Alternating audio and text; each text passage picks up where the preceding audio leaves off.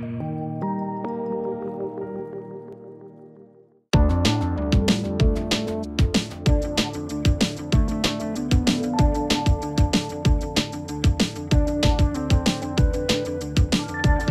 Ovo je događaj u sklopu globalne, to jest međunarodne Formal Student zajednice. Formal Student je najveće obrazovno automoto natjecanje na svijetu koje okuplja sva svjetska sveučilišta. E, ovo je treći put da organiziramo ovaj događaj u Hrvatskoj, prvi put u Varaždinskoj županiji na lijepoj stazi, znači ST Rauš ovdje u Novom Marofu.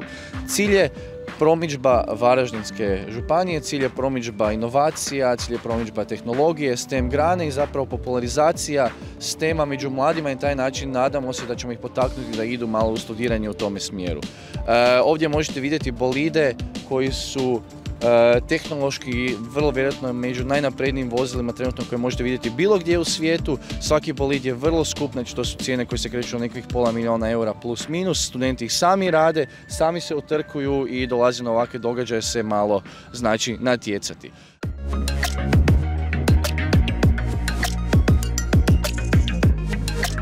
Rimac automobili je naravno generalni pokrovitelj samog događaja koji nas podržava još od tam negdje 2017. godine.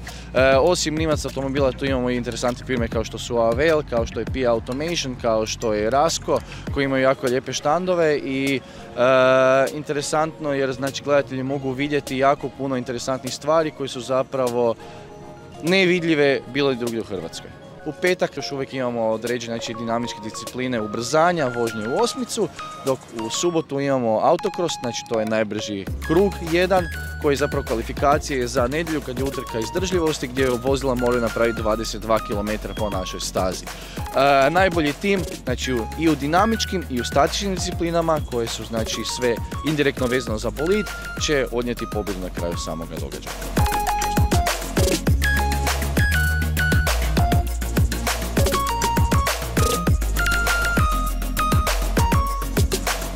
Kao lokalna samouprava izašli smo u susret maksimalno organizatorima ovog eventa. Drago mi je da smo tu našli nekako e, zajednički interes.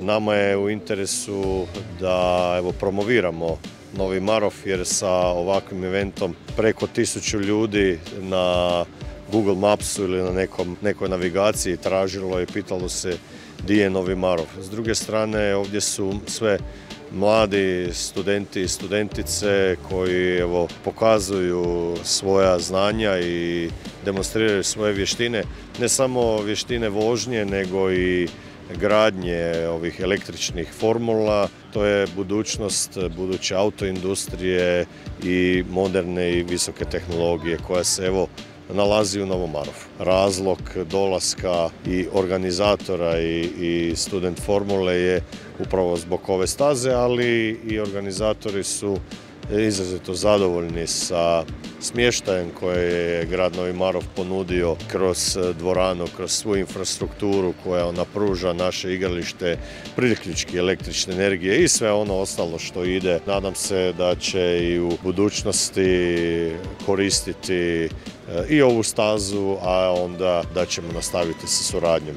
Takvi e, eventi e, su nama zanimljivi i mi na njima mislimo graditi ono što možemo, nazovimo to, to turizmom. Život se kreće i evo kao što vidimo i ovakvi događaji evo, zaživili su i događaju se. Ja vjerujem da e, ćemo dalje nastaviti u, u tom smjeru.